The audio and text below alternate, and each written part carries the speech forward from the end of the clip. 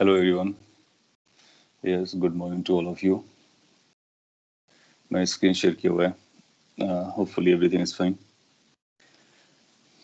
proceed करेंगे आज के लेक्चर के लिए। सो so, uh, अभी तक हम लोगों ने वेक्टर के कपल ऑफ़ लेक्चर्स किए हैं। और आपने ये लर्न किया है how to represent how to denote a vector how to add the two vectors so last class में हम लोगों ने दो वेक्टर्स का एडिशन के बारे में बात किया हुआ है। यहाँ तक कोई कंसर्न डाउट हो तो आप पूछ सकते हो। Else we are going to move forward और uh, उस एडिशन ऑफ़ टू वेक्टर्स को हम लोग समझेंगे।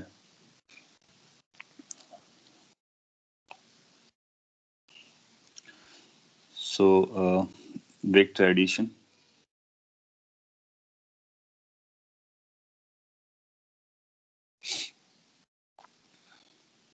एक बार आप दो वेक्टर्स को ऐड करना लर्न कर लेते हो।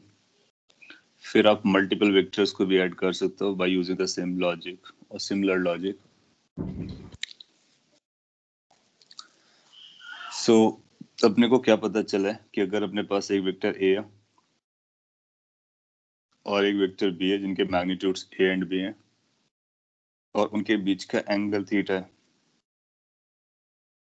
so resultant value that means mod of A plus B की जो वैल्यू आती है magnitude of A plus B जिसको हम लोग आर बोलते हैं। This comes out to be square root of A square plus B square plus twice times A B cosine theta ये एक फाइनल फॉर्मूला है जो अपने को आ, अपने हम लोगों ने प्रूव भी किया और समझा भी है। साथ ही साथ हम एक डायरेक्शन का भी जानते हैं कि डायरेक्शन किधर होती है, डायरेक्शन ए और बी के बीच में होती है। तो जब कभी दो वेक्टर्स लोगे तो उसकी डायरेक्शन ए और बी के बीच में आएगी। उसका क्या मतलब अभी आप समझेंगे। पहले इसको समझ लेते हैं। और वो टेन अल्फ़ा वाला फॉर्मूला क्या रहता है? टेन अल्फ़ा जहाँ पर alpha first vector A vector से एंगल है। So this comes out to be sine theta divided by A plus B cos theta so ये बता रहा है कि रिजल्टेंट किस डायरेक्शन में होगा ये बता रहा है रिजल्टेंट का क्या मैग्नीट्यूड होगा। ये अपने लर्न किया होगा। इसके कुछ स्पेशल केस है जो बहुत फ्रिक्वेंटली अपियर करते हैं तो उनको भी हम लोग समझ सकते हैं। जैसे कि अगर आपसे बोला जाता है कि if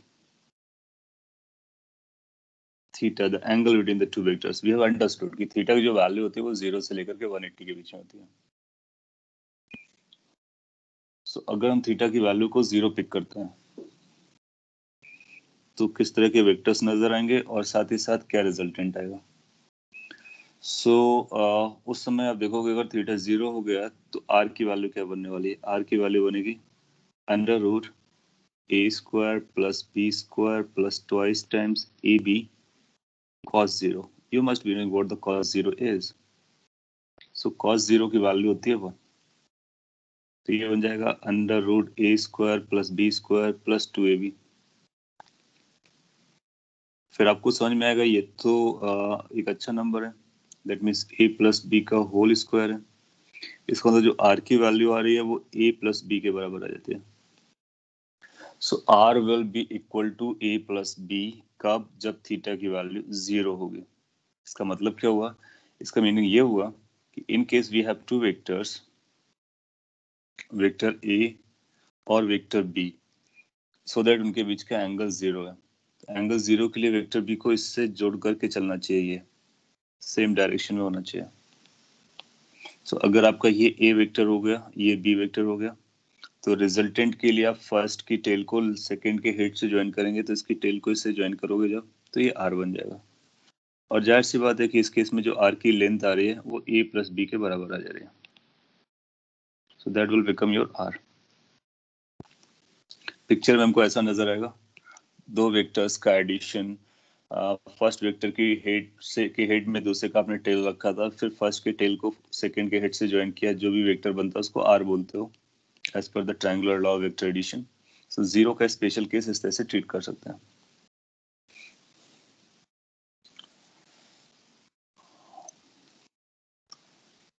ये आप कॉपी कर लीजिए, फिर आपके कुछ पॉइंट्स उनको मैं आंसर करता हूँ।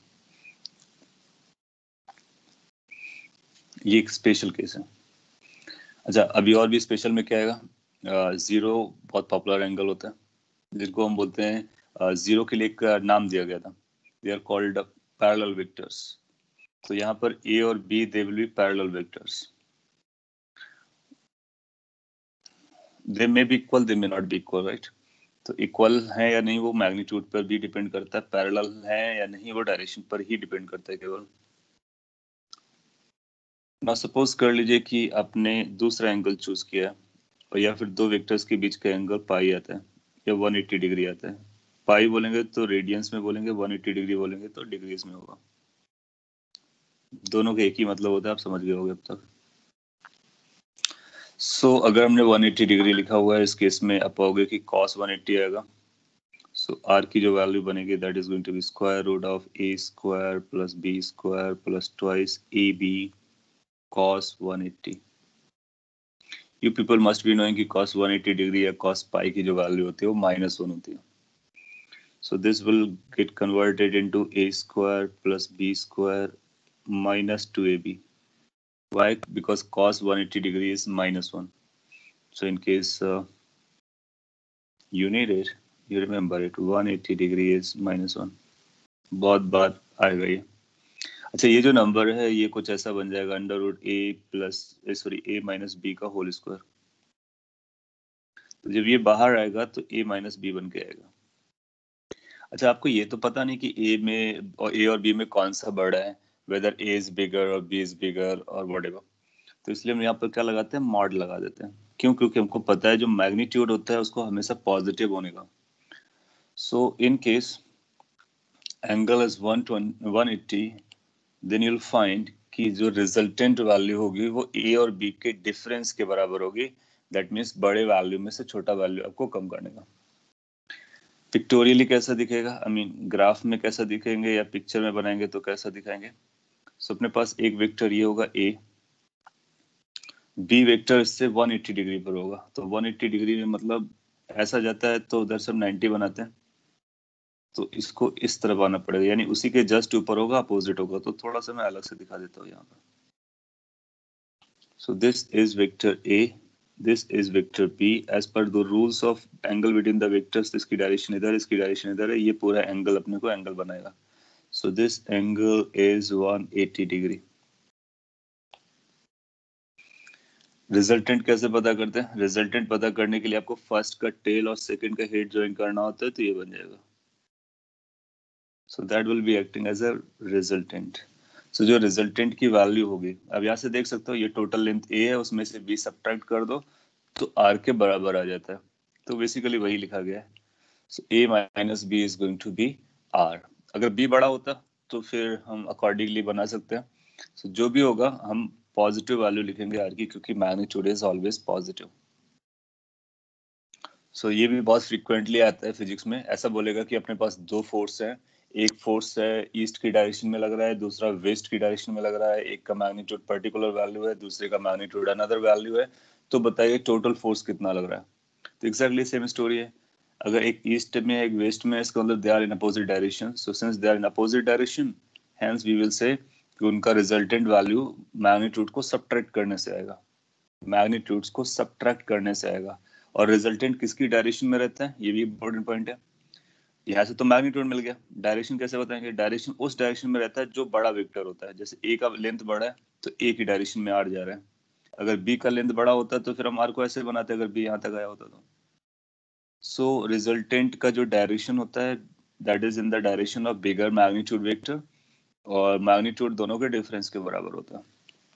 ऐसे वेक्टर जिनके बीच का एंगल 180 डिग्री होता है उसको हम लोग बोलते हैं anti parallel vectors anti parallel vectors लेकिन एंटी पैरेलल वेक्टर्स और अपोजिट वेक्टर्स जो थे ना, वो अलग अलग स्टोरीज हैं। एंटी पैरेलल का मतलब हुआ एंगल 180 डिग्री हो। दैट्स ऑल ए और बी के मैग्नीट्यूड्स इक्वल हो या ना हो चलेगा। लेकिन जब अपोजिट वेक्टर की हम बात करते हैं तो अपोजिट में मैग्नीट्यूड को इक्वल होना भी ज़रूरी है। तो जैसे इस सिचुएशन में ए और बी अपोजिट वेक्टर नहीं है। क्यों? क्योंकि ए का मैग्नीट्यूड और बी का मैग्नीट्यूड अलग अलग दिखाया गया। They are not opposite, but they are anti-parallel. So हम लोगों ने डेफिनेशन लिखी थी you just follow the definition एक अगला केस अपने पास होता है जो कि बहुत फ्रिक्वेंटली यूज़ होता है। That is ninety degree if theta is ninety degree that's called perpendicular vectors तो अगर दो वेक्टर्स अपने पास परपेंडिकुलर हैं तो रिजल्टेंट क्या बनेगा? आपको पता होना चाहिए कॉस 90 डिग्री लगाने पर ज़ीरो हो जाता है। तो ये जो two A B cos theta है, वो ज़ीरो हो जाएगा। तो हम अगर डायरेक्टली लिखना चाहें तो आर की वैल्यू हमारे पास बचेगी a square plus b square plus zero that means we can remember r is simply a square plus b square so in case दो वेक्टर्स हमारे पास हैं, और अगर वो दो वेक्टर्स आपस में परपेंडिकुलर हैं तो उनका रिजल्टेंट मैग्नीट्यूड कितना रखेगा? तो रिजल्टेंट का जो मैग्नीट्यूड आएगा that is going to be under a square plus b square इसका मतलब यहाँ पे जो हम रिजल्टेंट की वैल्यू बताते हैं ना वेक्टर में, वो ए प्लस बी नहीं बताते हैं। कभी ए प्लस बी होता है, कब होता है ए प्लस बी जब दोनों के बीच का एंगल ज़ीरो चल रहा हो। फिर ए माइनस बी भी हो सकता है, कब? जब 180 डिग्री पर हो। फिर under root a square plus b square हो सकता है, कब? जब 90 डिग्री पर हो। और otherwise a square plus b square plus two a b cos theta under root के अंदर रहता है कब? जब कोई भी थीटा आपको पता हो। अगर वेक्टोरियल इसको प्लॉट करना हो तो कैसा दिखेगा? So it will be like कि अपने पास एक वेक्टर ए है, दूसरा वेक्टर बी है जो कि 90 डिग्री पर है। एंगल बनाना अपने को आता है। So this is vector a this is vector b this is going to be 90 degree so so, अगर अपने को ये पता है तो रिजल्टेंट कैसे निकालते हैं? वो भी आइडिया है। रिजल्टेंट निकालने के लिए हम फ़र्स्ट के टेल को लास्ट के हेड से ज्वाइन कर देते तो ये रिजल्टेंट हो गया। So in case when the two vectors are perpendicular this right angle triangle works. और राइट एंगल ट्राइंगल में जो ये आर होता है ये हाइपोटेनस का काम करता है। तो हाइपोटेनस की value under root base square plus under root perpendicular square के बराबर होती है। उसको हम लोग यहाँ से दे सकते हैं। मोर ओवर यहाँ पर अल्फ़ा भी निकालना हमारे लिए आसान होगा। ये अल्फ़ा हो गया। तो टेन अल्फ़ा का फॉर्मूला क्या हो जाएगा? यानी रिजल्टेंट की डायरेक्शन किधर आ जाएगी? बी बाई हो जाएगी। आप उस फॉर्मूले में थीटा की वैल्यू 90 रख दीजिए अल्फ़ा वाले फॉर्मूले में तो वहाँ से भी पता चल जाएगा अपने को। So these are three popular cases जो बहुत फ्रिक्वेंटली आपको मिलने वाले हैं कि दो वेक्टर 90 डिग्री पर हैं, दो वेक्टर अपोजिट हैं अपोजिट डायरेक्शन में या एंटी पैरेलल हैं, या फिर सेम डायरेक्शन में इस तरह की बातें करेगा और आपसे रिजल्टेंट के बारे में पूछेगा।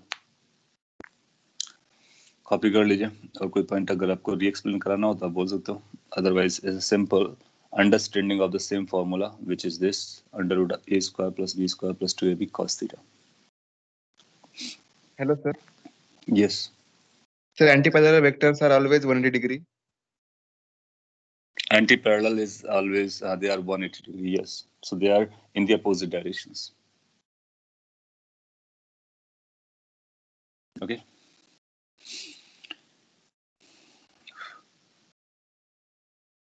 So after understanding this three particular cases हम लोग कुछ और भी डिटेल में बात कर सकते हैं, जिसको हम लोग ट्राइंगुलर इनइक्वालिटीज बोलते हैं,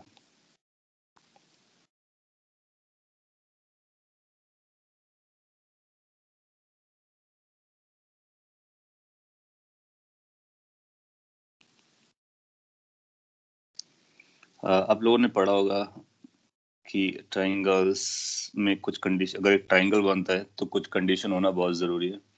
और जब हम लोग एडिशन निकाल रहे हैं तो वेक्टर का एडिशन निकालने के लिए ट्रायंगुलर लॉ का यूज़ कर रहे हैं। वहाँ पर एक ट्राइंगल बनता है। ट्राइंगल बनने के लिए जैसे हम लोग जानते हैं कि दो साइड्स का सम थर्ड साइड से बड़ा होना चाहिए वो सारी चीज़ें उनको हम इनक्वालिटी के फॉर्म में लिखते हैं। सो so, हम मैथ से ना जाकर के वेक्टर को यूज़ करते हैं। और से वेक्टर के टर्म में इसको ड्रॉ करने की कोशिश करते हैं। आर की जो वैल्यू है एज पर फॉर्मूला आ रहा है a square plus b square plus two a b cos theta let say हमारे पास दो वेक्टर्स है जिनके मैग्नीट्यूड पता है, लेकिन उनके बीच का एंगल हम चेंज कर सकते हैं। So if a and b are given और थीटा कैन बी चेंज्ड तो डिफरेंट डिफरेंट थीटास के लिए आर की वैल्यू कैसे वेरी करेगी अपने को समझना है।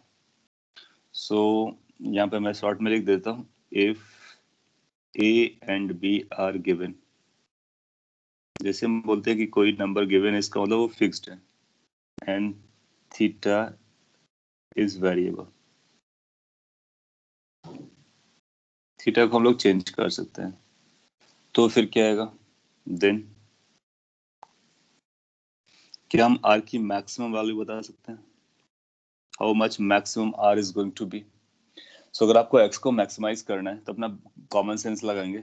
ए गिवन है, यानी ए गिवन है कांस्टेंट उसमें कुछ चेंज नहीं कर सकते। बी में कोई चेंज नहीं कर सकते टू में कोई चेंज नहीं कर सकते। अगर कोई चेंज कर सकते हैं तो थीटा पे कर सकते हैं। अच्छा अगर हमको आर को मैक्सिमम करना है तो कॉस थीटा की मैक्सिमम वैल्यू लेनी पड़ेगी। क्यों? क्योंकि ये सब एडिशन में चल रहा है। सो कॉस थीटा की मैक्सिमम वैल्यू लिखना पड़ेगा अपने को। तो अगर मैं स्टेप वाइज लिखूं तो इस तरह से लिख सकता हूँ कि अपने को ए स्क्वायर रखना होगा बी स्क्वायर रखना होगा। ट्वाइस ए बी रखना होगा। लेकिन कॉस थीटा की अपने को मैक्सिमम वैल्यू चाहिए। आप लोग जानते होंगे कि कॉस थीटा की मैक्सिमम वैल्यू कितनी होती है? So in case you know कि कॉस थीटा की मैक्सिमम वैल्यू कितनी होती है, उसको हम यहाँ पे सब्सटीट्यूट कर सकते हैं। Everybody must be knowing otherwise आप आज की बात याद रख सकते हो cos theta is always less than equal to one तो इसकी जो मैक्सिमम वैल्यू होती है, वो वन होती है और हमेशा वन से छोटा रहता है। मिनिमम वैल्यू की बात की जाए तो माइनस वन होती है तो कॉस थीटा वन और माइनस वन के बीच में लाई कर रहा होता है। सिमिलरली साइन थीटा भी चलता है। यस सो आर मैक्स अगर आपको कैलकुलेट करना है सो आर मैक्स का मतलब होगा कि कॉस थीटा की वैल्यू वन रख दीजिए। ये बनेगा a square plus b square plus two times a into b into one जैसे आपने ये रखा तो आप पाओगे कि अल्टीमेटली ए प्लस बी के बराबर आ जाएगा। क्योंकि वो ए प्लस बी का होल स्क्वायर बनेगा अंडर रूट लगाओगे तो ए प्लस बी बन जाएगा। और हम जानते हैं कि ए प्लस बी वाला केस कब आता है? ये तब आता है कि जब थीटा की वैल्यू कब हो जाए? कितना हो जाए? ज़ीरो डिग्री हो जाए। तो इसका मतलब जब दोनों वेक्टर सेम डायरेक्शन में होते हैं सेम डायरेक्शन में होते हैं, उस समय उसका रिजल्टेंट वैल्यू मैक्सिमम आती है।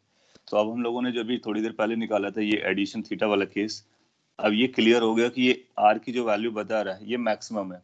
इससे बड़ा आर हो नहीं सकता है। इसको हम लोग फिगर से भी समझ लेंगे। बट अभी मैं से समझा कि this is the maximum value that r can have similarly हम मिनिमम वैल्यू के बारे में बात कर सकते हैं। तो पहले इसको एज ए फॉर्मूला बना देते हैं। आर की जो मैक्स वैल्यू अपने को पता चल रही है that is a plus b और this occurs when the two vectors are in the same direction ना इसको एक बार अगर वेक्टर्स वेक्टर से समझते हैं पिक्चर वाइज तो कैसा दिखेगा? सपोज़ कर लिया हमारे पास एक वेक्टर ये था ए और ये वेक्टर बी था। कोई भी जनरल थीटा केस के लिए। और हम चाह रहे थे कि हमारा रिजल्टेंट है, वो मैक्सिमम बने। रिजल्टेंट का मतलब हुआ जो वेक्टर इन दोनों के हेड और टेल को ज्वाइन करने से मिलता है, इस तरह से। इसकी इसकी लेंथ सबसे ज़्यादा हो। अब आप समझो कि अगर आप आर की लेंथ ज़्यादा करना चाहते हो और ए और बी की लेंथ अपने को पता है तो कॉमन सेंस से अगर हम थीटा को बढ़ाएँगे तो ये बी इधर जाएगा तो आर छोटा होता चला जाएगा। और अगर हम और भी बढ़ाएँगे तो ये आर और भी छोटा हो जाएगा। आर का मतलब टेल और हेड को ज्वाइन करने वाला चीज़। इन केस अपने को आर की लेंथ बढ़ानी है तो फिर थीटा को कम करना चाहिए। थीटा को कम करेंगे सपोज़ कर लीजिए बी इधर आया तो आर की वैल्यू ये बनेगी।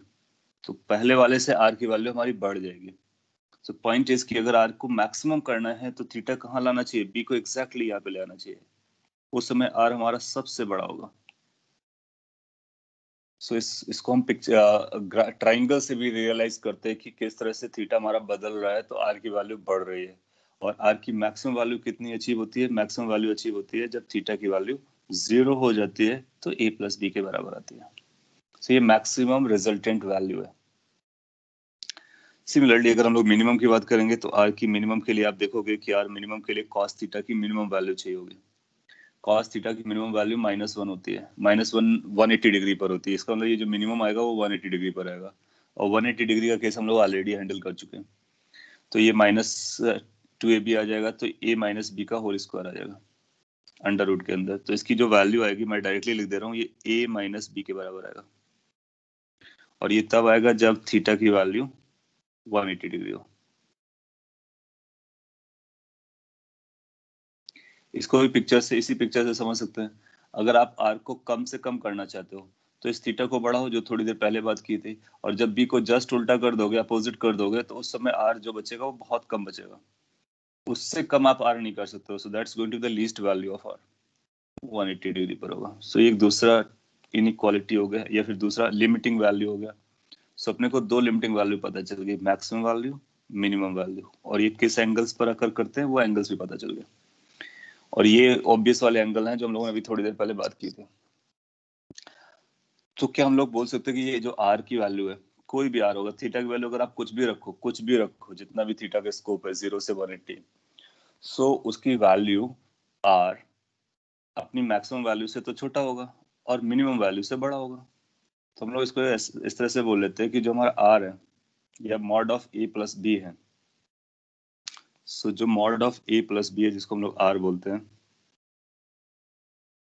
mod of a vector plus b vector तो mod of a vector plus b vector की वैल्यू हमेशा ए प्लस बी से छोटी रहने वाली है। So, the magnitude of resultant of two vectors is always less than the individual magnitude sum. और ये जो है, हमेशा बड़ा रहेगा या इक्वल रहेगा a माइनस बी से। यहाँ पे हमने मैग्नीट्यूड को ए से लिखा है और बी से लिखा है। अब उसके अंदर भी मॉड लगा सकते हो। सो so, इसको बोलते हैं that is triangular inequality that means resultant value r value a plus b से छोटा रहेगा या बराबर रहेगा और ए माइनस बी से बड़ा रहे, बड़ा रहेगा या बराबर रहेगा। इसके बियॉन्ड नहीं जा सकता। इसके बियॉन्ड नहीं जा सकता। कॉपी कर लीजिए। फिर मैं आपसे क्वेश्चन पूछता हूँ जो सिमिलर टाइप का क्वेश्चन एग्ज़ाम में आ चुका है। और आपको उसका आंसर कर देना है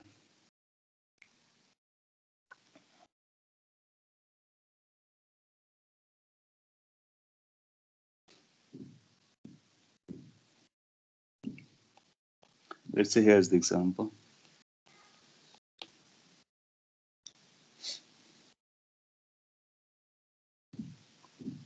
We can frame like this. Ki, um, Sir, can you show the last slide once again? Yeah, here is the last one. You can see it.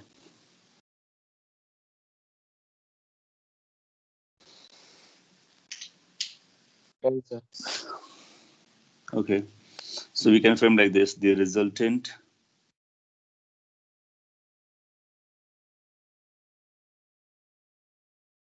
of two vectors of magnitudes.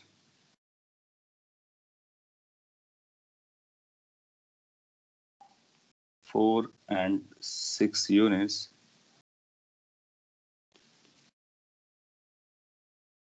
Can have its magnitude as so मैं आपको चार option दे रहा हूँ। ये बोला कि अपने पास एक रिजल्टेंट निकालना है, दो वेक्टर्स हैं। उसके मैग्नीट्यूड के बारे में बताना है। उसने एंगल आपको नहीं दिया है। और ए बी सी डी करके ऑप्शन दे रखे हैं। पहला ज़ीरो मैग्नीट्यूड की लोग बात कर रहे हैं। दूसरा वन तीसरा फाइव चौथा fifteen so if there are two vectors and uh, they have to be uh, summed as तो उनका जो रिजल्टेंट आएगा वो कौन सी वैल्यू ले सकता है that's what we need to find out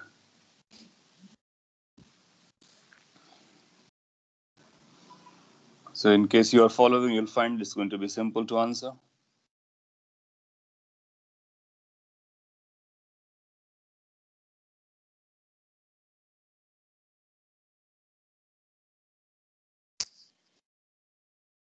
Now how you are able to identify this correct answer? So उसके लिए अभी जो आपने लर्न किया है वो uh, काफ़ी इंपॉर्टेंट है। So, आप बोलोगे कि अपने पास a की वैल्यू लेट से फोर है b की वैल्यू लेट से सिक्स है।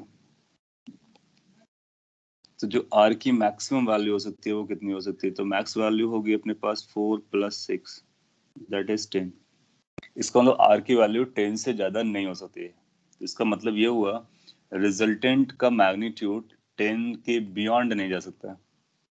इसका मतलब कोई बोलता है कि क्या वो फिफ्टीन आंसर बन सकता है तो हम बोलेंगे no fifteen can never the answer no matter what the angle is so that limit value अपने को पता चल गया। फिर हम आर मिन की बात करेंगे मिनिमम कितना पॉसिबल है? तो mod of a minus b होता है।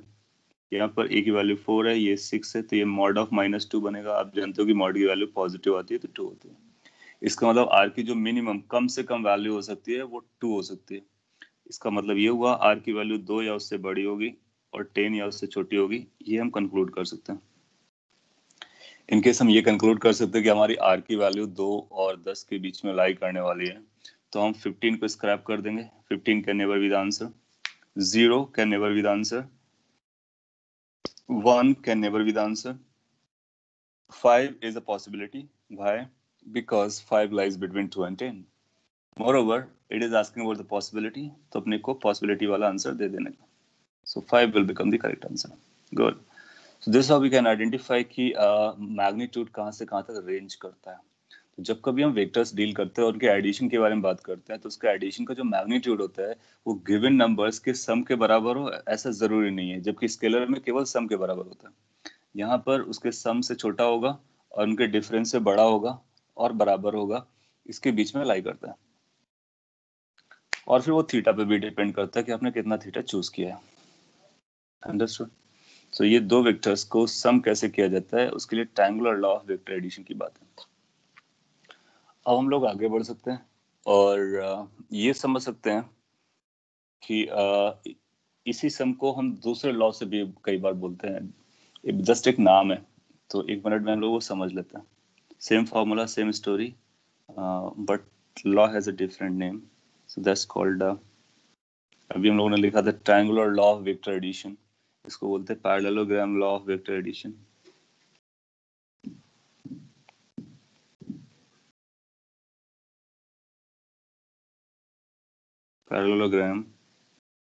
law of vector addition.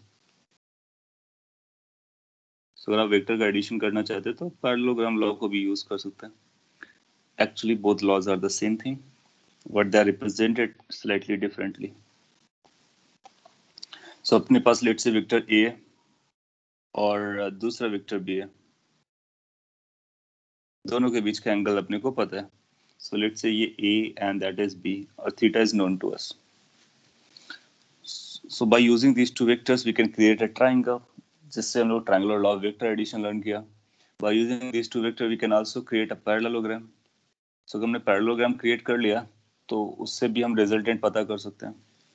Parallelogram create करने के लिए आपको क्या करना पड़ेगा एक वेक्टर को ऐसे रखो सेकेंड को उठा करके इसकी जिस तरह से आपने ट्राइंगल में रखा था उस तरह से यहाँ पे रख लो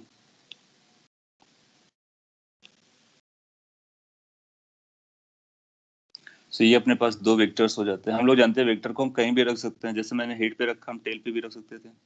तभी वेक्टर वही रहता है वेक्टर में कोई बदलाव नहीं आता। फिर इस, इधर से इसको ज्वाइन कराएँगे तो वो ए वेक्टर के बराबर हो जाएगा। तो बेसिकली हमारे पास दो वेक्टर्स हैं। दो वेक्टर से ये ज्योमेट्री बनी हुई है। दो वेक्टर्स हैं। ओनली टू वेक्टर्स कौन कौन से? Vector a and vector b ये जो वेक्टर है, ये बी ही है। क्योंकि हम जानते हैं कि एक वेक्टर को उठा करके कहीं और रख सकते हैं। मैग्नीट्यूड और डायरेक्शन ना बदले तो। सो so, ये भी बी वेक्टर ही है। और similarly this is also a vector so a parallelogram is found by two vectors and uh, two vectors are arranged like this. ये जो एंगल है this angle this is angle between the two vectors a और B के बीच का angle क्योंकि tales जो है आउटवर्ड डायरेक्शन के बीच को मेजर कर रहा है। तो इस तरह से एक पैरेललोग्राम बनाया जा सकता है। जब ये पैरोग्राम आपका रेडी हो जाए तो रिजल्टेंट क्या होता है? रिजल्टेंट इसका ये जो डायगनल है ना, ये रिजल्टेंट की बात करता है। So resultant is given by the diagonal of the parallelogram तो उस पैरेललोग्राम के डायगनल से हम उसको रिजल्टेंट की वैल्यू बता देते हैं। अगर आप इतना पोर्शन वॉच करो तो ये ट्रायंगुलर लॉ वेक्टर एडिशन ही है, क्योंकि एक ट्रायंगल बना हुआ है। बेसिकली उस तरह के दो ट्रायंगल बन गया। तो same a same b same theta same triangle same story same resultant आ जाएगा। बट कंस्ट्रक्टर कंस्ट्रक्ट करने का आइडिया थोड़ा सा डिफरेंट है। तो थीटा यहाँ पर भी लिख सकते हैं। इस एंगल को हम लोग अल्फ़ा बोलते हैं तो इसको अल्फ़ा बोल देंगे। ये बीटा बनता है तो इसको बीटा बोल देंगे। और अपने पास रूल वही रहेंगे, क्या?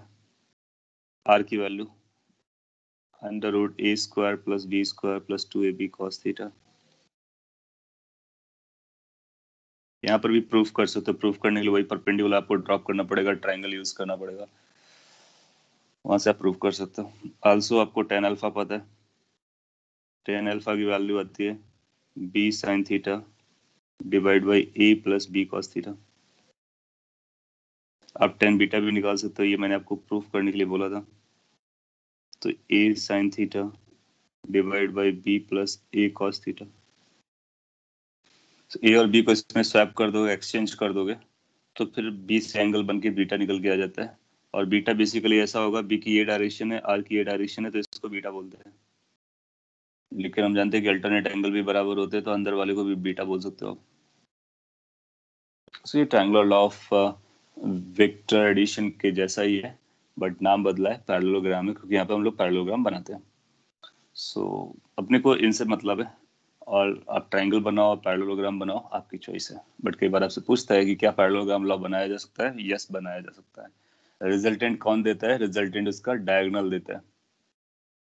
जो ए और बी के पॉइंट से ज्वाइन कराते हो तो उस डायगोनल से हम रिजल्टेंट की वैल्यू की बात करते हैं। एक दूसरा डायगोनल है ये। ये नहीं देता है। कौन सा देगा? जो अब जहाँ पर थीटा बनेगा थीटा से ज्वाइन करने वाला होगा, उसके बारे में हम लोग बात करते हैं। आगे आप चलकर देखोगे, जो दूसरा डायगनल है ना, वो उनका डिफरेंस देता है सब्ट्रैक्शन ऑफ़ टू वेक्टर के बारे में बात करता है। कैसे करता है समझेंगे?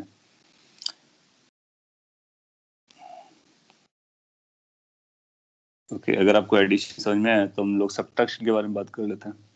सब्ट्रैक्शन ऑफ़ टू वेक्टर कैसे हम लोग सब्ट्रैक्ट करते हैं दो वेक्टर्स को? पिक्टोरियली एडिशन करने का हमारे पास और भी तरीके हैं। जैसे कि हमको कभी ऐसा पता हो कि अब ये एडिशन तो हम लोग करना जानते हैं। जैसे ये पता हो two i cap plus three j cap ये एनालिटिकल मेथड होता है। बी की value let say one i cap और माइनस टू जे कैप दिया गया है। बोलेगा इसको एडिशन करो। इसका एडिशन करना तो अपने को आता है। ए प्लस बी बोलेंगे आई कैप को आपस में ऐड कर लेंगे जे कैप को आपस में ऐड कर लेंगे। एक वेक्टर बन जाएगा। So that's also addition of two vectors उसको बोलते हैं एनालिटिकल मेथड यहाँ पे बता देता हूँ थोड़ा सा लिख करके, हालाँकि बहुत ऑब्वियस है। और मोस्ट ऑफ़ द टाइम आप इसी तरह से काम करते हो। कई बार वो ट्राइंगल जैसा बना के काम करते हो। Vector addition. Analytical method. अभी जो आपने पढ़ा था वो ग्राफिकल मेथड कह सकते हैं पिक्टोरियल मेथड या फिर जो मैग्नीट्यूड के टर्म्स में निकालने वाली स्टोरीज थी। अब हम आई कैप जे कैप के बारे में बात करेंगे। सो so, कैसे जनरल फॉर्मूला बना देते हैं? लेट अपने पास एक वेक्टर है ए और ए वेक्टर आपको पता है कुछ a one i cap plus a two j cap plus a three k cap all three dimension आएँगे तो इस तरह से बनाया जा सकता है।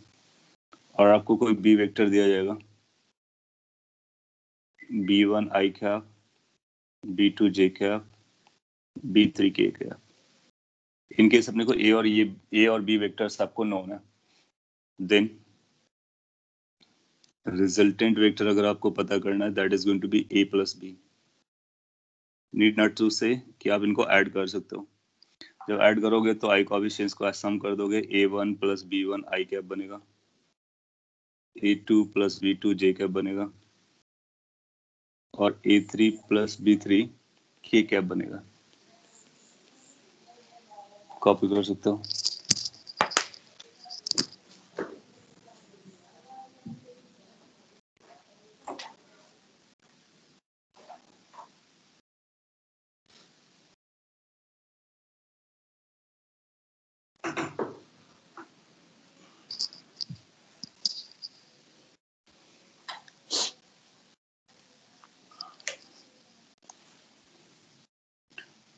बाद अगर आपको वेक्टर मिल गया तो मैग्नीट्यूड और डायरेक्शन निकालना is not going to big deal so how to get the magnitude so अब बोलोगे इसका अगर मैग्नीट्यूड अपने को निकालना है सो so, आर निकालना होगा। आर का मतलब होगा mod of R that means under root जब कभी आई जे के कॉफिशियंस होते हैं हालाँकि टू के लिए हम लोग देखा था A square plus B square किया था। अगर आपको यहाँ पर मैं और जनरल बता देता हूँ। अगर आपके पास आई का कॉफिशियंट है जे का कॉफिशियंट है के का कॉफिशियंट दिया है तो डायरेक्टली आप उसका मैग्नीट्यूड लिख सकते हो। आई के कॉफिशियंट का स्क्वायर प्लस जे के कॉफिशियंट का स्क्वायर प्लस के के कॉफिशियंट का स्क्वायर सो so, अगर आपको थ्री डायमेंशन में दिया गया तो सभी के स्क्वायर्स का सम का अंडर रूट करते हैं तो मैग्नीट्यूड मिलता है। सभी के स्क्वायर्स के सम का अंडर रूट करते हैं तो कॉफिशियंस का बेसिकली तो अपने को मैग्नीट्यूड मिल जाता है। डायरेक्शन कैसे निकालोगे? डायरेक्शन निकालने के लिए हम बोलेंगे आर क्या अब यहाँ वेक्टर्स वगैरह तो ड्रॉ नहीं करना है तो हम बोलेंगे R vector divide by its magnitude. क्या आपको आर वेक्टर पता है? यस। क्या उसका मैग्नीट्यूड पता है? यस। क्या दोनों को डिवाइड कर सकते हैं? यस। तो क्या निकल आएगा डायरेक्शन निकलेगा। सो so, हम डायरेक्शन मैग्नीट्यूड और वेक्टर निकाल सकते हैं एनालिटिकल मेथड में। I cap J cap K cap में। सेम स्टोरी को हम कर सकते हैं कब? जब उनको पिक्चर पता हो। दैट मीन्स वेक्टर्स पता हो उनके उनकी डायरेक्शन एंगल पता हो। जो अभी तक करते हैं दैट मीन्स प्रीवियस स्लाइड में। यहाँ पर भी हम लोग मैग्नीट्यूड और डायरेक्शन निकाल रहे हैं। तो हर वेक्टर के बारे में मैग्नीट्यूड और डायरेक्शन निकालना हमको आना चाहिए डिफरेंट डिफरेंट मैथड से। आप पाओगे ये जो मेथड है, ये ज़्यादा इजी रहेगा और मोस्ट ऑफ़ द टाइम आपको कैलकुलेशन इस तरह से करनी होगी। अपने पास दोनों फैसिलिटीज़ होंगी। अगर ये दिया गया होगा तो इसको हम एंगल और मैग्नीट्यूड में कन्वर्ट कर सकते हैं। और एंगल और मैग्नीट्यूड्स दिए होंगे तो हम इसको इस मेथड में भी कन्वर्ट कर सकते हैं। दोनों का अपना सेम मीनिंग चलेगा। इट डिपेंड्स कि ऑप्शन में किस तरह से दिया गया, उसके अकॉर्डिंग अपने को ढालना पड़ेगा। एक छोटा सा एग्जांपल मैं आपसे यहाँ पे करा लेता हूँ, फिर आगे बढ़ता हूँ।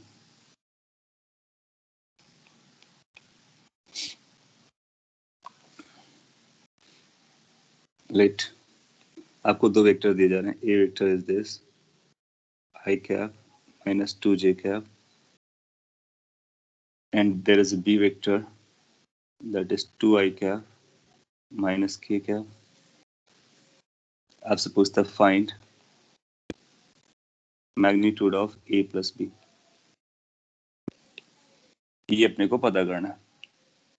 So magnitude of A plus B basically addition of this two vectors पता करना है। रिजल्टेंट जिसको कहेंगे, उसका मैग्नीट्यूड चाहिए अपने को। ट्राई कर लीजिए। और इसका एक आंसर आएगा वो बताने की कोशिश कीजिए, जिससे आपकी प्रैक्टिस हो जाएगी, फिर हम लोग आगे बढ़ेंगे।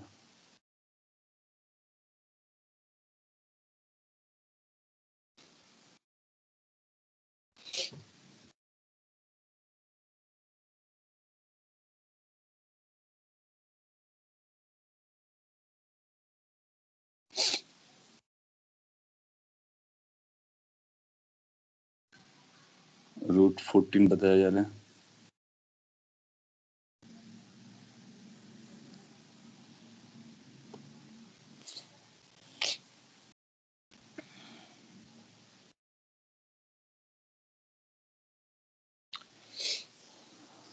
गुड तो इसमें बहुत सारी चीज़ें पूछी जा सकती हैं आपसे। मैं बहुत सारी चीज़ों को लिखने की कोशिश करता हूँ, आप हम समझने की कोशिश कीजिए। देखो, ये ए वेक्टर है। ये बी वेक्टर है। आपसे पूछा जाए ए प्लस बी बताइए तो हम ए प्लस बी बता सकते हैं। तो आपको दोनों को ऐड कर देना है। ये आएगा minus I I minus two J plus two I minus K simplify कर लीजिए। आई को आपस में जे को आपस में के को आपस में। सो ये बनेगा three I cap minus two J cap minus K cap that is A plus B आपको ध्यान देना होगा कब उसने ए प्लस बी वेक्टर पूछा है कब ए प्लस बी पूछा है कब क्या पूछा है। सो so, अगर आपसे पूछता है कि ए प्लस बी का मैग्नीट्यूड बताइए तो हम बोलेंगे magnitude of A plus B is going to be under root इसका मैग मॉड लगाना है। इसका मॉड मतलब इसका मॉड तो that means mod of three I cap minus two J cap minus K cap इसका जो मॉड वैल्यू आएगा that is going to be under root three square plus minus two का स्क्वायर प्लस माइनस वन का square तो ये जो कॉफिशियंस होते हैं ना, उनको हम स्क्वायर करते हैं। लेकिन सिंस वो स्क्वायर में आते हैं तो इसलिए माइनस का कोई खास मतलब नहीं रहेगा ओवर द कैलकुलेशंस ये बनेगा आपका nine plus four plus one that is root fourteen so अगर आपसे पूछता है कि mod of A plus B बताइए तो हम ये बता सकते हैं। लेट्स ये पहला क्वेश्चन था। सभी ने सही आंसर दिया है, अच्छी बात है। दूसरा question find A plus B so अगर आपको इस तरह से लिखता है कि ए प्लस बी निकालिए so what answer we are suppose to give क्या अभी भी हम रूट फोर्टीन बोलेंगे या फिर कुछ और बोलेंगे? इनकेस कुछ और बोलेंगे तो क्या बोलेंगे? ए प्लस बी अपने को बताना एक आंसर भी आ रहा है two root five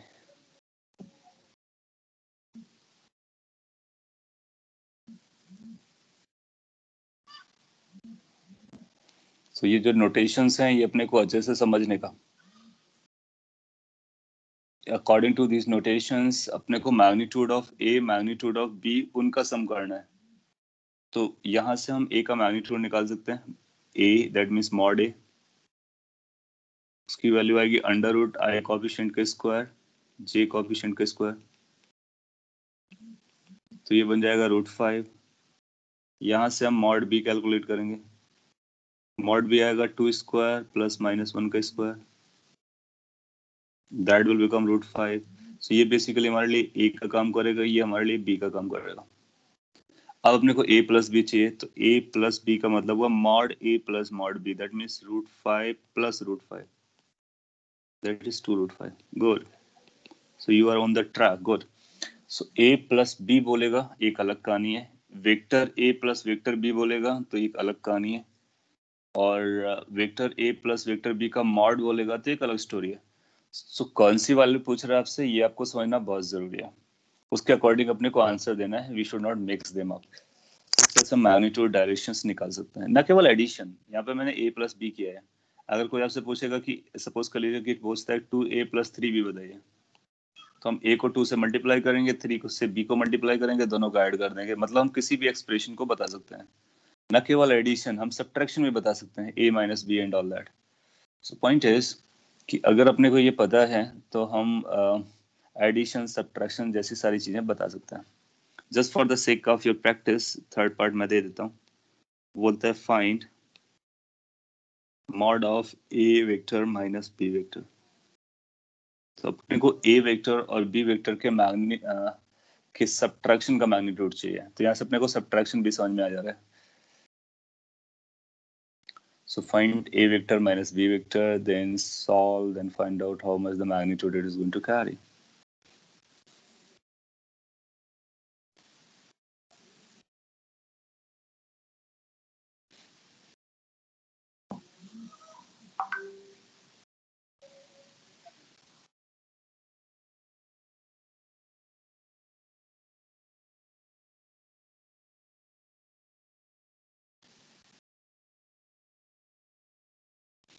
so so, अब बोल गुड सो आप ऐसा बोलेंगे कि जिसकी वैल्यू आने वाली है this value will become mod of A vector minus B vector तो ए में से बी को सब्ट्रैक्ट करने का। जब सब्ट्रैक्ट करोगे तो आप चाहो तो स्टेप लिख सकते हो।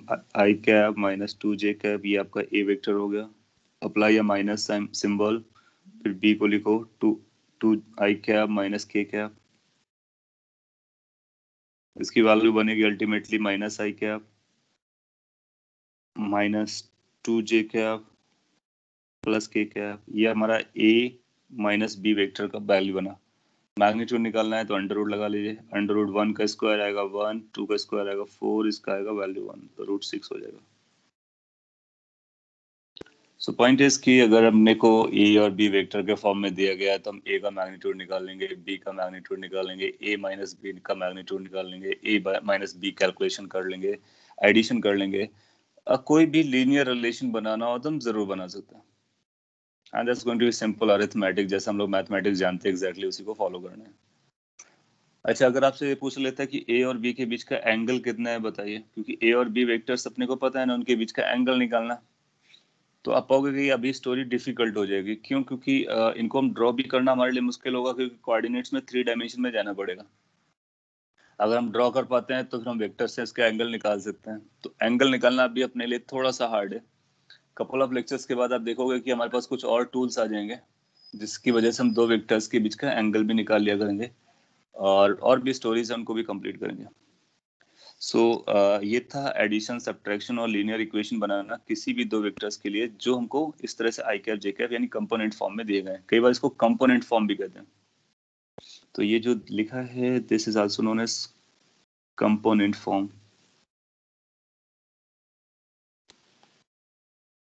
component form of vector that means हम I component X component Y component Z component के टर्म में बात करते हैं।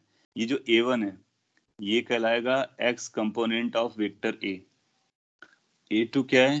वाई कंपोनेंट क्योंकि जे की डायरेक्शन में वाई की डायरेक्शन में वाई कंपोनेंट है। ए three is A K component Z component तो X component Y component Z component इस तरह से थ्री कंपोनेंट्स हैं। सो so, इसीलिए इसको हम कंपोनेंट फॉर्म के नाम से भी जानते हैं और एनालिटिकल मेथड है। इससे पहले आपने जो पढ़ा था वो इस तरह से ग्राफिकल मेथड उसको ग्राफिकल मेथड कहते हैं। अच्छा अगर हमको एडिशन के साथ साथ सब्ट्रैक्शन भी लर्न करना हो ग्राफिकल मेथड से तो कैसा दिखेगा? तो हम लोग सब्ट्रैक्शन को लिखते हैं। ग्राफिकल मेथड को यूज़ करके।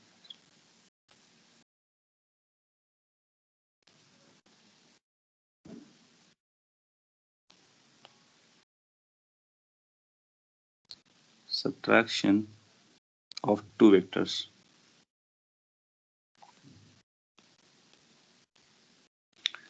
तो कई बार टेक्निकली ऐसा भी लोग कहते हैं कि लाइक वेक्टर्स में कोई सब्ट्रैक्शन नाम की स्टोरी नहीं होती है। वेक्टर में केवल एडिशन ही होता है। फिर भी हम लोग कई बार लूज सेंस में सब्ट्रैक्शन वर्ड यूज़ कर लेते हैं। देखो क्या होता है ना कि अगर अपने को ए और बी को सब्ट्रैक्ट करना है तो ए लिखोगे माइनस बी लिखोगे। है ना? इसको आप चाहो तो ऐसा भी लिख सकते हो। A vector plus minus B vector लिख सकते हो नहीं? अच्छा ये जो बी वेक्टर होगा, उसका माइनस बी वर्जन हम जानते हैं, क्योंकि बी वेक्टर को माइनस बी में कन्वर्ट करना बहुत आसान होता है। मैग्नीट्यूड आपको वही रखना है डायरेक्शन बदल देनी है। यानी उसका अपोजिट वेक्टर चाहिए। अगर सपोज़ करिए, एक मिनट के लिए इसका नाम सी देख देते हैं। तो ये बेसिकली हमारे पास क्या बन गया? A vector plus C vector तो हम लोग ये देख सकते हैं कि subtraction of two vector is nothing but addition of two vectors so जब कभी सब्ट्रैक्शन करना हो तो बेसिकली हम एडिशन ही करते हैं कुछ और नहीं करते हैं। बस एक काम ज़रूर करते हैं कि जो सेकंड वाला वेक्टर होता है जो सब्ट्रैक्ट हो रहा होता है उसको नहीं यूज़ करते हैं बल्कि उसके अपोजिट वेक्टर को यूज़ करते हैं। सो so, उस वेक्टर से पहले हम अपोजिट वेक्टर क्रिएट करेंगे फिर उस अपोजिट वेक्टर को हम पहले वाले वेक्टर के साथ ऐड कर देंगे। ऐसा करने से जो भी आएगा वो हमारा सब्ट्रैक्शन ऑफ़ टू वेक्टर निकल करके आ जाएगा। पिक्टोरियली कैसा दिखेगा? समझते हैं। लेट्स से कि अपने पास एक वेक्टर ए है और ये एक वेक्टर बी है। और कोई आपसे कहता है कि इनको आपको सब्ट्रैक्ट करना है। ए वेक्टर और बी वेक्टर और उनके बीच का एंगल भी पता है। जहाँ पर मैं लिख देता हूँ, यहाँ से स्टार्ट करते हैं। Let A B and theta is known यहाँ पर थीटा क्या है? Theta is angle between A vector and B vector theta वही है जो पुराना वाला था। दैट मीन्स ए और बी के बीच का एंगल है। सो so, अगर ए वेक्टर और बी वेक्टर अपने को ये दिए गए तो थीटा निकालने के लिए इसको ऐसे प्रोड्यूस करके इसको थीटा बोल सकते हैं। The way we know things right अब अपने को ए प्लस बी नहीं चाहिए। अपने को ए माइनस बी चाहिए। तो हम लोग प्लस में क्या करते हैं और माइनस में क्या करेंगे वो देखते हैं। प्लस में क्या करते थे कि ये अपना ए वेक्टर है ऐसा रखो। बी वेक्टर की टेल को इसके हेड से स्टार्ट करो, ये बी वेक्टर हो गया। So this is going to be A this is going to be B and as per our understanding this is going to be theta लेकिन हमको ए प्लस बी नहीं चाहिए। अगर ए प्लस बी चाहिए होता तो हमारे लिए ये वेक्टर ए प्लस बी बन गया था। Vector A plus B not the magnitude A plus B so ये बनता हमारे लिए mod of A vector plus B vector that is addition of two vectors यहाँ पर हमको सब्ट्रैक्शन चाहिए तो हम बी से एक सी वेक्टर क्रिएट करेंगे। अगर हमको बी से एक सी वेक्टर क्रिएट करना है थिंक अबाउट ये बी दिया था बी से सी निकालने के लिए हम क्या करेंगे? इसका एक अपोजिट वर्जन निकालेंगे, ये। This will be minus B और you can call it as a C अब आपको इसको और इसको ऐड करना है। तो so, जब हमको सेकंड वेक्टर को ऐड करना होगा तो उसकी टेल को फिर हम स्टार्ट करेंगे। और उसकी टेल को ए के हेड से ज्वाइन करते हुए इस तरह से लेके आएँगे सो यू विल फाइंड कि ये जो वेक्टर बनेगा ये सी वेक्टर कह लो या माइनस बी वेक्टर कह लो। सी तो सिर्फ़ समझाने के लिए बेसिकली हमारे लिए माइनस बी वेक्टर का काम कर रहा है। सो so, जो वेक्टर हम ऊपर लिखते थे अब उसको हमने डाउन साइड कर देने का। So, अगर ये सी हो गया तो ए प्लस सी निकालने के लिए हमको ये ज्वाइन कर देना चाहिए।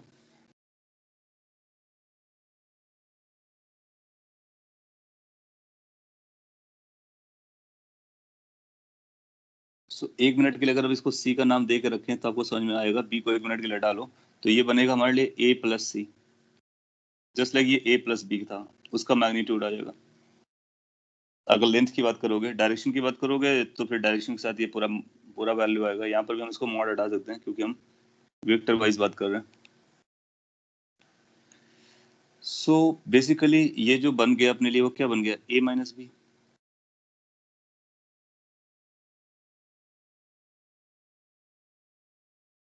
so whenever we are subtracting what we do? Addition वाला जो रूल करते हैं बस उसी को रिपीट कर देना है लेकिन बी के साथ नहीं। बी को इन्वर्ट करने के बाद यानी अपोजिट करने के बाद। फिर जो फ़र्स्ट का टेल और लास्ट का हेड बचेगा, उससे जो वेक्टर बनेगा, वो सब्ट्रैक्शन वेक्टर बनेगा। तो इस ट्राइंगल में ये जो फिगर अपने लिए काफ़ी इंपॉर्टेंट है। इसमें एडिशन भी दिखाया गया और सब्ट्रैक्शन भी दिखाया गया। फिर आपसे बोलेगा कि ए वेक्टर और माइनस बी वेक्टर के बीच में कितना एंगल है?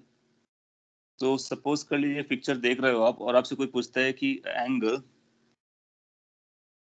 between vector A and minus B vector या जिसको हमने सी बोला है।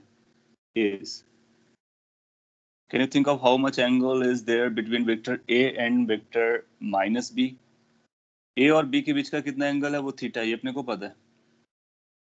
तो जब माइनस बी के साथ हम उसको देखेंगे ए को तो कितना एंगल आएगा? Can you see the picture and answer theta 180 minus theta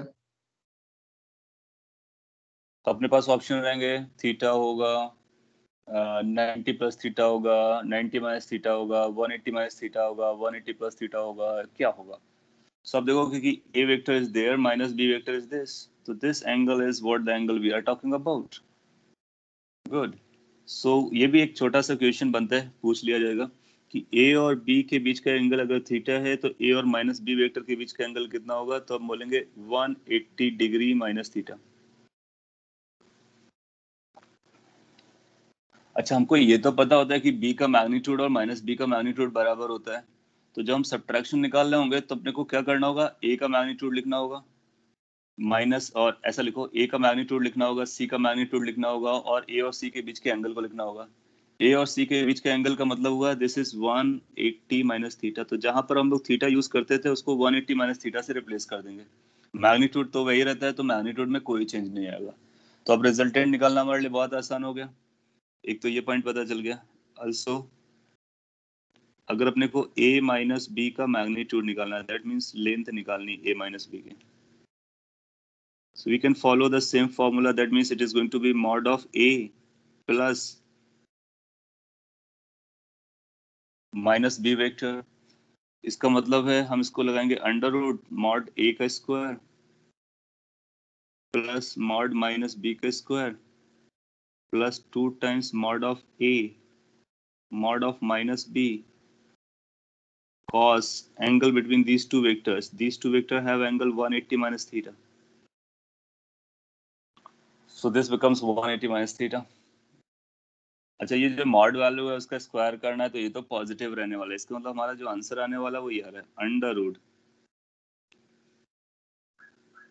A square plus B square plus two A B cos theta plus two A B cos 180 minus theta आप लोग जानते हो कि कॉस 180 माइनस थीटा जो होता है वो minus cos theta होता है। सो so, ये फाइनली इसमें कन्वर्ट हो जाएगा। A square plus B square minus two A B cos theta यहाँ पर एक रूल लगाया गया है। कौन सा रूल लगाया गया है? यहाँ पे मैं शॉर्ट में लिख देता हूँ। ट्रिग्नोमेट्रिक है। Cos 180 degree minus theta whenever you find it replace it by minus cos theta से। सिमिलरली कई बार आपको साइन की वैल्यू पता चल ज़रूरत पड़ेगी साइन 180 माइनस थीटा तो इसको आप रिप्लेस कर सकते हो साइन थीटा से। सो so, इस तरह से पॉइंट्स आते रहेंगे ओवर द टाइम मैथ्स के जो कि आप जानते होगे नहीं भी जानते हो तो आप अपने नोट्स में ऐड करते रहने का। सो so, यहाँ से अपने को रिजल्टेंट की वैल्यू पता चल गई। तो सब्ट्रैक्शन ऑफ़ टू वेक्टर का रिजल्टेंट क्या होता है? सिमिलर फॉर्मूले से जाएगा। Under root A square plus B square minus two A B cos theta आएगा। जहाँ पर थीटा किसके बीच का एंगल है? Theta is angle between A and B A और बी के बीच का एंगल अगर आपको पता है और फिर आप ए और बी वेक्टर को सब्ट्रैक्ट करना चाहते हो तो उनका जो रिजल्टेंट का मैग्नीट्यूड आने वाला है उसका फॉर्मूला है। और अगर कभी आपसे पूछता है कि ए और माइनस बी के बीच का एंगल बताइए तो हम 180 डिग्री माइनस थीटा बोलने वाले हैं।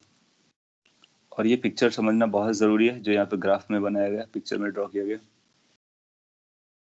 और एक बार आपको समझता है तो हम एडिशन भी ट्राइंगल से निकाल लेते हैं सब भी ट्राइंगल से कैलकुलेट कर लेते हैं। और सब में केवल एक ही इंपॉर्टेंट पॉइंट आ रहा है, क्या? Replace theta by 180 minus theta. तो जहाँ पर थीटा आएगा, उसको 180 एट्टी माइनस थीटा से रिप्लेस कर दो। अपना आंसर ऑटोमेटिकली आ जाएगा। क्यों? क्योंकि मैग्नीट्यूड में कोई चेंज नहीं है, केवल एक चेंज है थीटा में। तो जैसे अपने को डायरेक्शन पता करनी होती है। सपोज़ लिए हम रिजल्टेंट की डायरेक्शन पता करना चाहते हैं ए वेक्टर से, जिसको हम अल्फ़ा बोलते थे। इधर इसको अल्फ़ा बोलते थे। तो लेट्स इसको नाम हम अल्फ़ा डैश दे देते हैं। तो अल्फ़ा डैश क्या बनेगा? alpha dash is the angle made by the subtraction of two vectors from vector A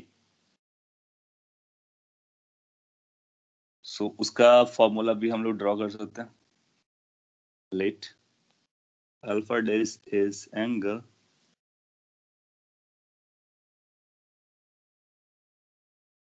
made by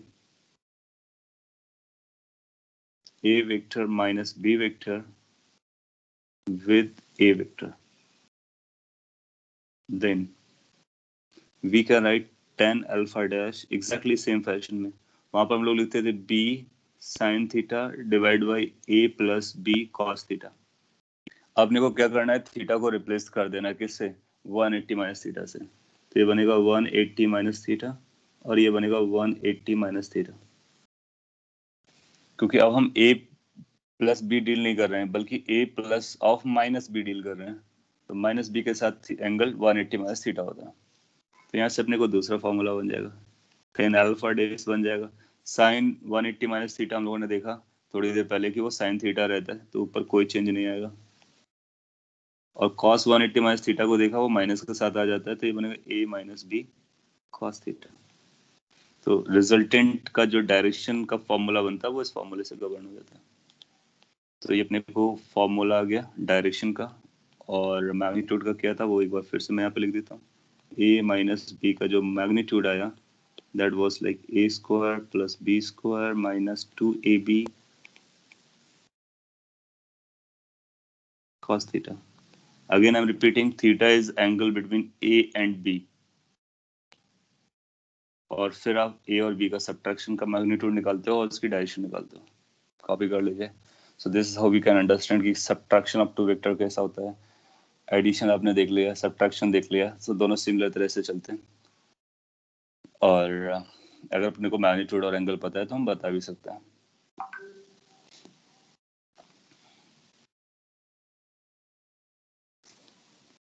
मैं आपसे एक लास्ट क्वेश्चन बोलता हूँ, और आप उसका आंसर कर दोगे। फिर हम लोग समझेंगे कंप्लीट हो रहा है। थोड़ी सी प्रैक्टिस आपको और करनी है। ये लास्ट एग्जांपल है। छोटा सा है, जल्दी आप आंसर दे दोगे। If p plus Q is equal to p minus Q addition और सब्ट्रैक्शन दोनों है। Then find the angle between p vector and q vector So अगर P और Q दो वेक्टर्स आपको दिए गए हैं if you have been given two vectors P and Q and you have been given a condition that the magnitude of addition and subtractions are identical. So how much the angle between the two is going to be?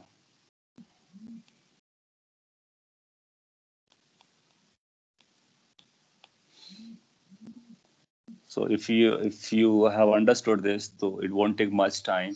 आप बोलोगे कि इसका formula लगा देते हैं इसका formula लगा देते हैं जो फ़र्स्ट का फॉर्मूला लगाओगे तो ये बनेगा P square plus Q square plus two times P Q cos theta assuming कि एंगल थीटा है दोनों के बीच का।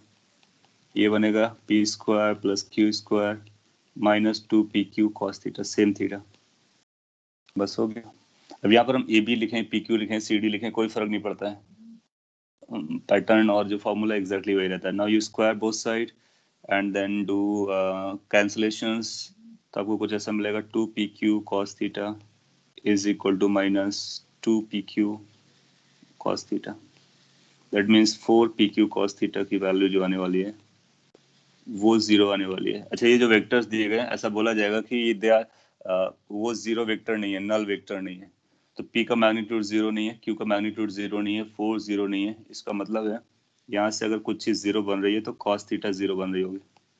और कॉस थीटा अगर ज़ीरो बन रहा है तो किस थीटा के लिए ज़ीरो बनता है? 90 डिग्री के लिए बनता है।